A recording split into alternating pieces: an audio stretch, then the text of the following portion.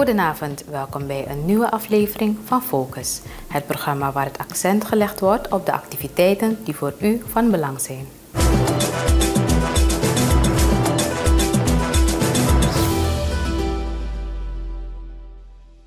Bewoners Latour en omgeving ingelicht over financieel-economische situatie.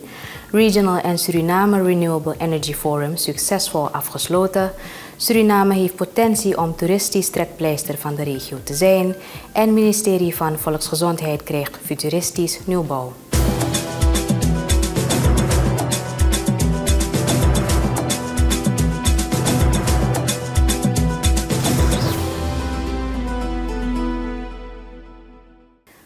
Bewoners van Latour en omgeving zijn door de werkgroep Wijken in Ontwikkeling geïnformeerd over de huidige financieel-economische situatie. Dit gebeurde op woensdag 30 november 2022 bij de Stichting Buurtwerk Latour Stibula. Het betrof een informatiedag waarbij econoom Harry Dorini van de Centrale Bank van Suriname bij verschillende aspecten stilstond. Hij ging ook in op vragen van de aanwezigen.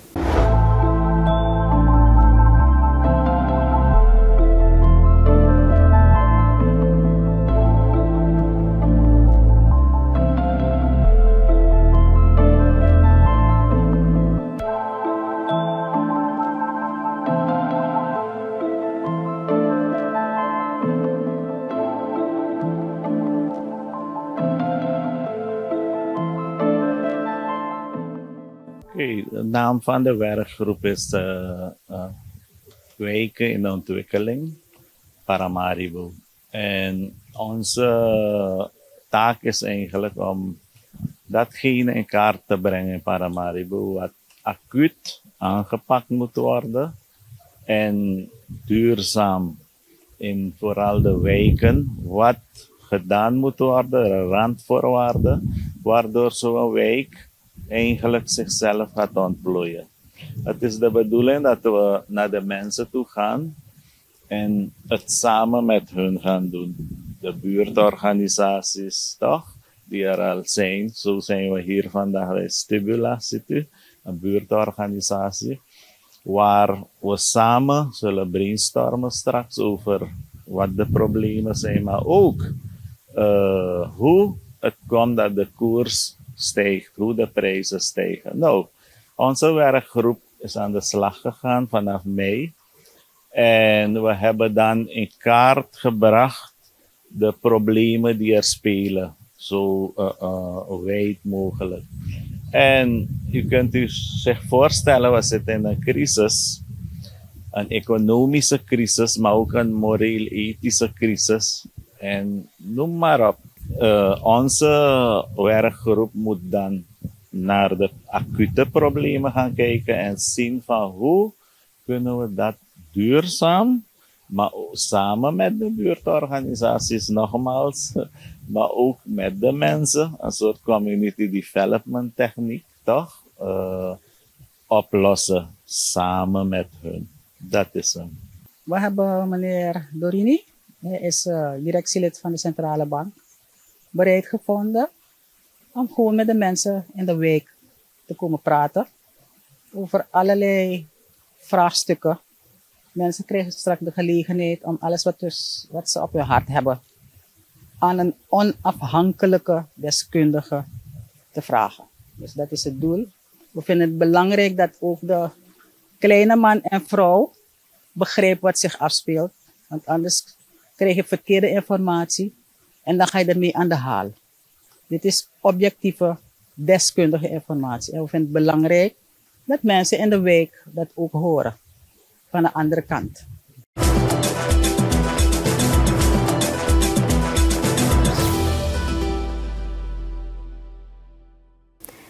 Het Regional en Suriname Renewable Energy Forum is succesvol afgesloten. Deskundigen uit de regio hebben gedurende drie dagen van gedachten gewisseld over het belang van hernieuwbare energie. Het betrof een gezamenlijke activiteit van de Energieautoriteit Suriname, de Suriname Energy Chamber en de Caribbean Center for Renewable Energy and Energy Efficiency. U hoort EAS-directeur Dave Abeleven en SEC-voorzitter Orlando Ollenberg.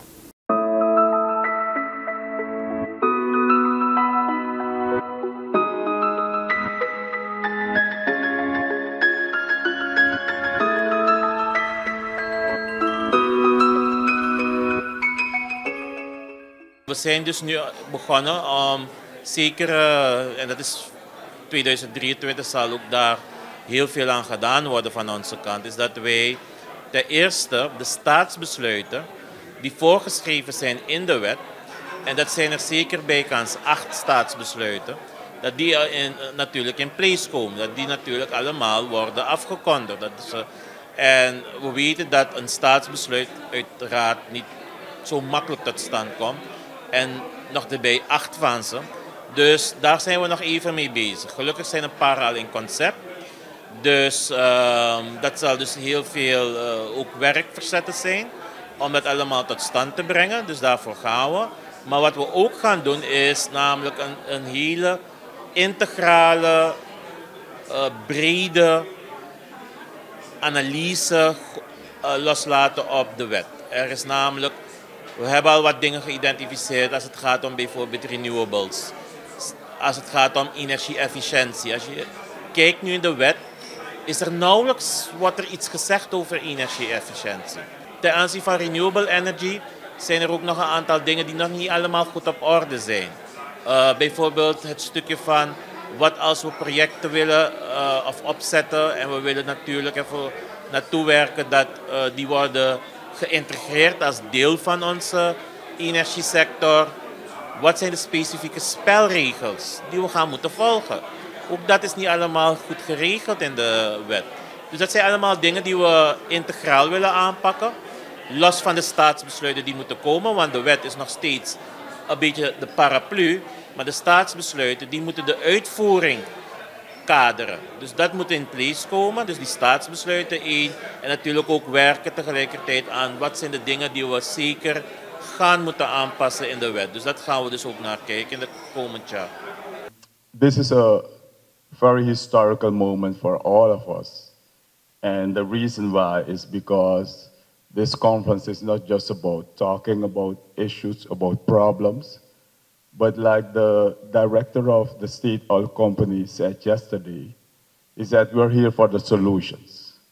We know that the problems are there, but what we need in this country, what we need in the Caribbean is solutions. That's why we were happy to hear all those uh, who mentioned at least three important things in the past two days is that one of them is that the financial uh, organizations need to step up a little bit. We need them. It's very important.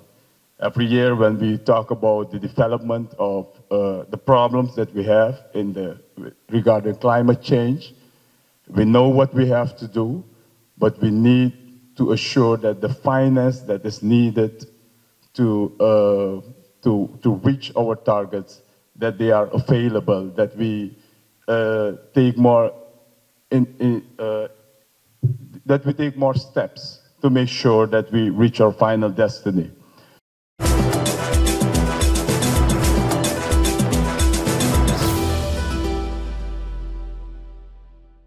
Suriname heeft volgens parlementariër Miguela Sumarhuur de potentie om uit te groeien tot een toeristisch trekpleister binnen de regio. Huur is voorzitter van de commissie van rapporteurs belast met voorbereiding van de toerismeraamwet en de wet Suriname Toerisme Autoriteit. De volksvertegenwoordiger zei op dinsdag 29 november bij behandeling van deze wetten dat vooral de culturele diversiteit belangrijk is voor de toerismesector.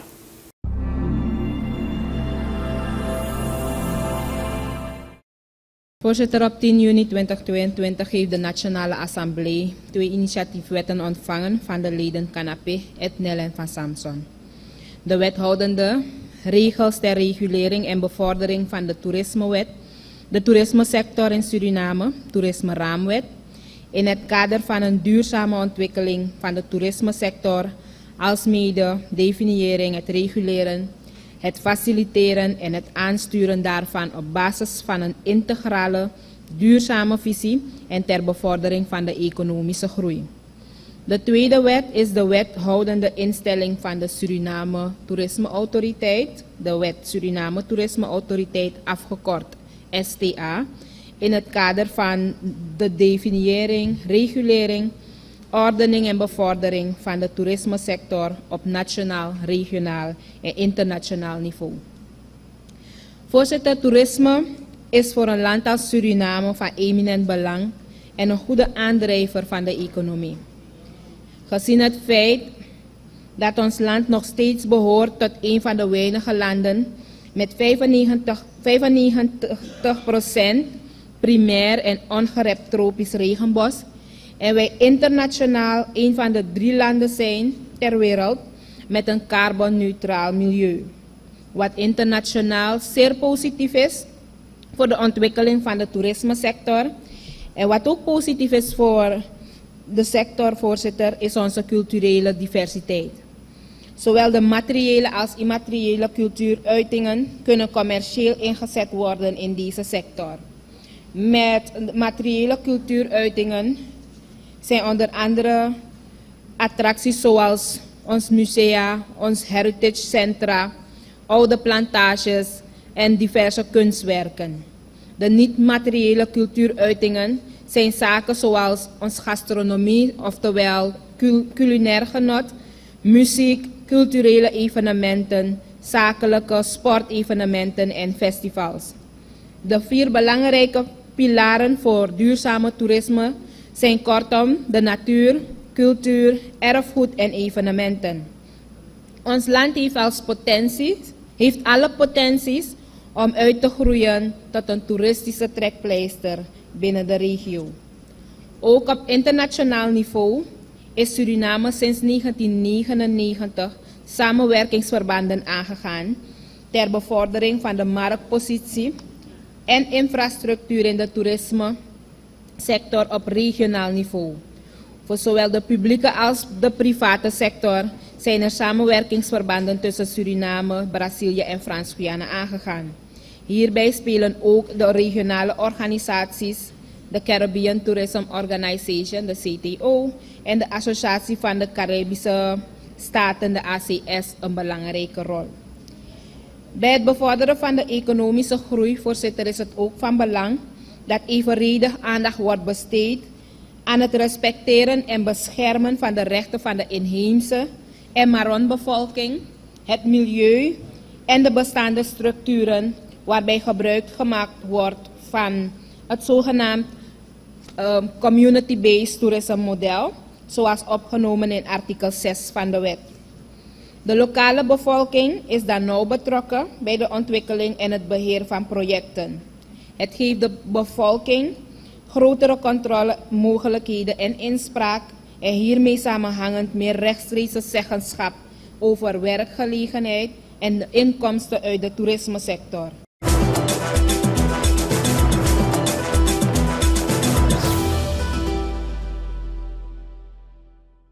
Het ministerie van Volksgezondheid krijgt een nieuw onderkomen. Het futuristisch gebouw komt te staan op de plek van het in 2021 afgebrande hoofdkantoor van het BOG.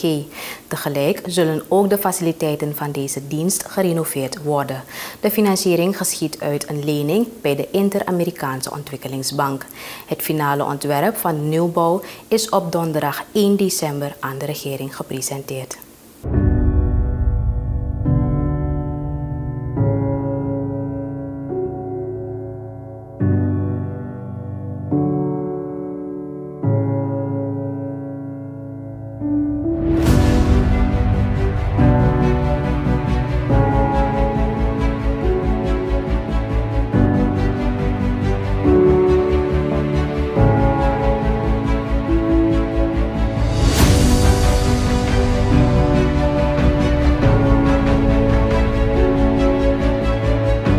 Ja, we hebben vandaag uh, op 1 december hebben we op het kabinet van de president, in bijzijn van de president, een presentatie verzorgd over uh, de, het finaal ontwerp voor een, nieuw uh, gebouw van het ministerie van Volksgezondheid en het nieuw gebouw voor het Bureau Openbare Gezondheidszorg. Um, de regering heeft in 2018 de intentie getoond om een lening aan te gaan met de IDB. En um, er is toen een aanzet gegeven. Het initieel plan was om het ministerie van Volksgezondheid inderdaad uh, opnieuw te bouwen. En het uh, BOG, het Bureau voor Openbare Gezondheid, zou worden gerenoveerd. We hebben toen COVID gehad. ehm, bij de overname van deze regering is er gekeken naar ehm, de huidige stand van zaken. Kwam bijkijken dat in ehm, het vorig jaar ook het BOG afgebrand was. dus er moest een, een nieuw plan komen. Dus we hebben toen met goedkeuring van de bank hebben wij een plan voorgesteld waarbij we inderdaad nog steeds het nieuwbouw, de nieuwbouw van het ministerie van Volksgezondheid eh, hebben geaccordeerd. En in principe kijken naar de staat van die gebouwen van het BOG. U kent die twee gebouwen op, aan de Rode Kruislaan op het complex. Hebben we gekeken en er zijn testen uitgevoerd, bouwkundige testen. En het was niet rendabel, niet te adviseren dat die gebouwen werden gerenoveerd. Dus is er gekozen voor een nieuwbouw van het ministerie van Volksgezondheid en een nieuwbouw voor het Bureau voor Openbare Gezondheidszorg. En dat is dan um, gaan van uh, een, nieuw gebouw op uh, de plek waar is afgebrand. Daar komt de, nieuwbouw van het ministerie van uh, Volksgezondheid. En op de, twee, uh, op de plek van waar de twee gebouwen nu staan van het BOG, die worden gesloopt. En dan komt er een nieuw gebouw voor het Bureau voor Openbare Gezondheidszorg. En vandaag hebben we gehad, we hebben dus gewerkt al die tijd intern met de architecten, met de bank, met de PIU van ons project aan um, het ontwerp. Waarbij we een, elke stakeholder binnen het ministerie hebben geraadpleegd. Kijken naar de noden nu, naar hoe we het zo goed mogelijk moeten brengen naar elkaar toe maar ook de groene, groene environment, green building style te gaan. En uiteindelijk hebben we vandaag dus gehad de sign-off van de fina, het finaal ontwerp in bijzijn van de president. Die heeft natuurlijk ook meegekeken naar de presentatie, vragen gesteld en heeft zijn approval gegeven, de goedkeuring gegeven om door te kunnen gaan met dit project. doorgaan betekent dat wij nu de designfase hebben afgesloten. En dat wij nu vanaf volgende maand, dat is in januari 2023, van start gaan met de constructiebiddingfase. Dus dan komen dan voor zes maanden gaan iedereen, het is een internationale aanbesteding, in de gelegenheid gesteld worden om te gaan bieden voor de constructie. En we willen starten met de bouw in medio 2023. En de oplevering in tijd, dat zal zijn december 2024, hopen we dat dit gebouw um, als alles natuurlijk vlot verloopt, uh, klaar staat voor, het, uh, voor de samenleving. Ik wil de boodschap hier meegeven naar, naar alle zorgwerkers toe, dat de regering um, de 8% zoals was, zoals was aangegeven voor de ambtenaren ook heeft uitgereikt of uitgeschet naar de zorgwerkers toe. En dat zij dat op korte termijn mogen verwachten.